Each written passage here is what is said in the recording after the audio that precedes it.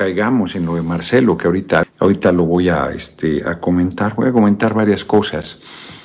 Van a estar jodiendo. El compañero presidente no ha ido a las cumbres.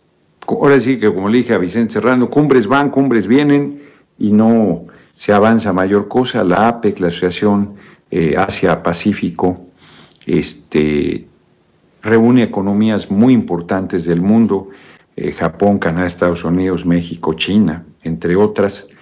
Y eh, estas reuniones, todas las cumbres, inclusive las cumbres más importantes, las había estado cubriendo el eh, hoy ex canciller Marcelo Ebrard Causabón, jugando un papel extraordinario, la verdad es un hombre muy capaz, pues eso no se le discute. Este, ahorita voy a tratar también ese tema. Ya me regañó, no, nadie me regaña desde que se murió mi abuelita, pero me comentó algunas reflexiones que también yo traía ahí eh, en mente compartir con usted sobre Marcelo. Este, entonces, compañero presidente sí cubrió esta. Es la segunda gira que hace fuera del país que no eh, sigue lo que ha hecho.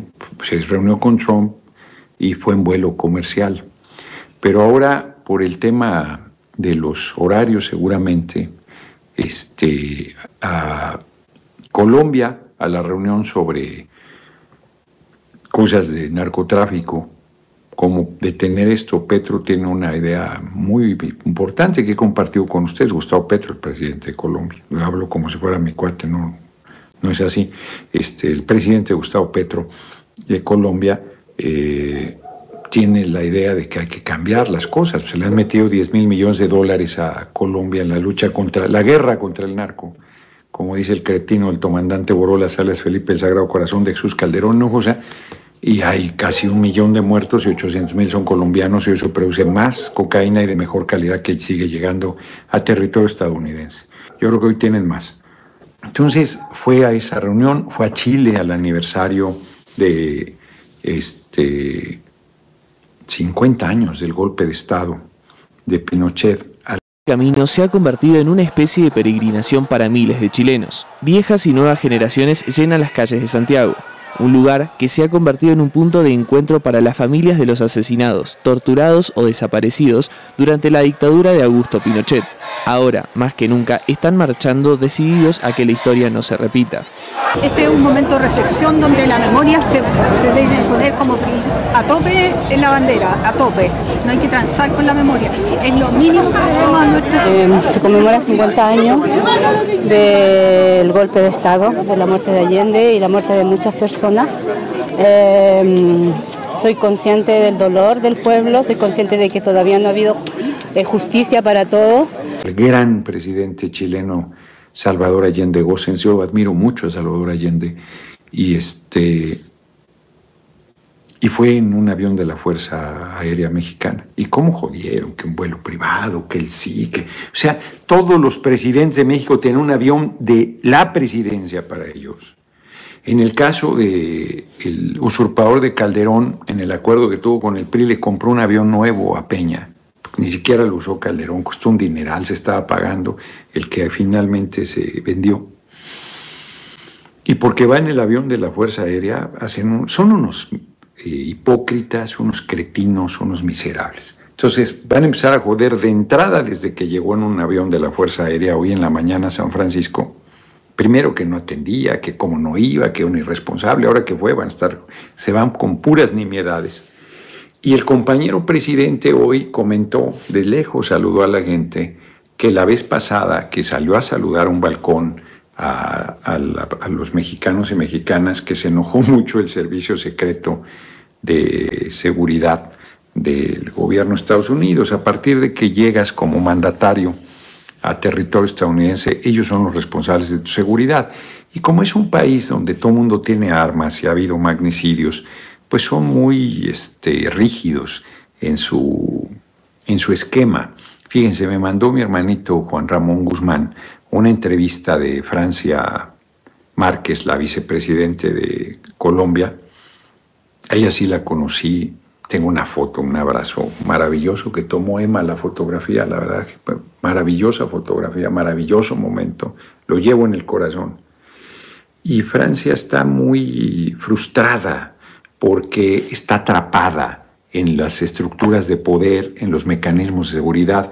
Desde que era candidata traía una, un aparatazo, además inútil, porque entramos al lugar, antes había entrado cualquier cantidad de gente, si no la revisaron, si iba armada o no, ahí en Colombia, en Bogotá. Yo creo que tiene muchos eh, fallos, yo creo que a propósito, esos mecanismos de seguridad, pero no puede estar con la gente, trae muchas limitaciones, el burocratismo no le ha permitido llevar obra inclusive a su comunidad, que es una comunidad pobre. O sea, está, está eh, irritada y, este, y, un poco eh, desesperándose. Ojalá alguien que tenga buena comunicación eh, logre infundirle el ánimo y la claridad que pues rompa ese esquema y se acerque a la gente. El riesgo de que te maten siempre está presente, siempre está presente, más en Colombia. Aquí mismo en México la derecha cada vez va sacando su peor rostro. Mi ley lo representa, ¿vieron? que el cabeza hueca de Fox y el usurpador de, ex usurpador de Calderón firmaron un desplegado en apoyo a ese energúmeno eh, fascista. Y, eso representa a Xochitl Galvez también, la verdad y, Samuel este, García, o sea, con su rostro así amable y con eh, su mujer así eh, vendiéndote la imagen de la pareja clase mediera feliz. Pero esos son, esos son, son racistas, clasistas, son... Eh, hay malos seres humanos ahí en, la derecha, hay de todo, pero hay un sector cada vez más que tiene que sacar su verdadero rostro. Bueno, lo que nos gritó esta diputada, que le va a pasar lo mismo que a Denise Dresser, que ahorita voy a comentar, el fallo del tribunal que la sancionó por violencia política de género contra Andrea Chávez. Bien, el compañero presidente llegó, eh, ya puso en las redes y avisó que pues, no va a poder estar en contacto con nuestra comunidad, que llegó ahí desde la noche previa este, cantó las mañanitas, me estaba comentando Vicente Serrano, creo que en vivo, que se quejan ahí que no han podido dormir porque no está, no, está en ese hotel, Argimiro Granda. Eh, yo no sé si hoy se queda ahí porque además salió del lugar después de la reunión con el presidente China, eh, Xi Jinping. Y, además van a decir, comunistas, ya vamos a ser comunistas. La economía más importante del planeta en este momento, la economía china que exporta mercadería para todo el mundo, un acercamiento, un reconocimiento al proceso que se está llevando a cabo en México. Muy bien, la verdad, muy bien. Este, ahora sí que inició con el pie derecho. Se va a reunir también con Trudeau hoy mismo, entiendo. Se va a reunir con el primer ministro japonés también, hoy está en la agenda, y mañana con Biden en el marco de esta reunión de la APEC. Entonces, este, pues importante, importante cumbre, importante presencia del compañero presidente, codeándose con los líderes más importantes del mundo, hablando con ellos de manera bilateral, tratado con respeto, y con la consideración que nuestra patria merece, como no había sido antes, como no había sido antes. Lo criticaban, que porque no hablaba inglés, que porque había dejado en manos de Marcelo toda esa tarea, que él debería estar. Bueno, pues ahora como todo critican, no lo van a criticar que haya ido, ya lo verán, porque así son de farsantes los derechosos eh, va a ser una jornada más pues, intensísima y como es él, o sea, va y regresa y es impresionante como siempre el, este, las jornadas que, que, realiza, la intensidad, bueno, que tiene en día y medio cuatro reuniones bilaterales con cuatro de los dirigentes políticos más importantes del planeta, este, simplemente con el presidente de China, que es, qué bárbaro Biden, le pregunta a una periodista que si es un dictador, dice que sí, lo tiene ahí de anfitrión, no bueno, no bueno. Y este, se agarran con Biden y con Trudeau y con, con, Japón es una economía poderosísima, ya lo dije con el primer ministro japonés. Esto es una intensísima agenda. Ahí está acompañándolo la canciller Alicia Bárcena, una mujer muy, muy eh, profesional, de este, creo que es de, diplomática de carrera.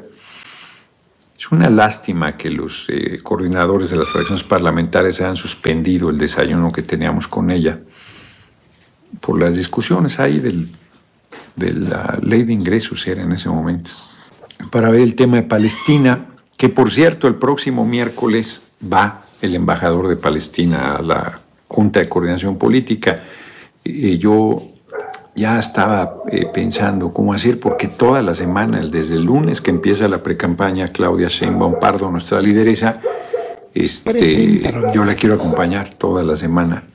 Y además el miércoles va a Tabasco, que no estuve yo ahora en el pasado recorrido, pero yo promoví la visita de la invitación al embajador de Palestina. Entonces sería una necedad no estar. Entonces, quizás viaje temprano el miércoles a la Ciudad de México para estar en esa comida con el embajador de Palestina y luego regrese en la noche al lugar donde para continuar la gira jueves, viernes, sábado y domingo. Y estar lunes y martes con ella. Vamos a ver, vamos a ver qué, qué da. YouTube Noticias y las noticias short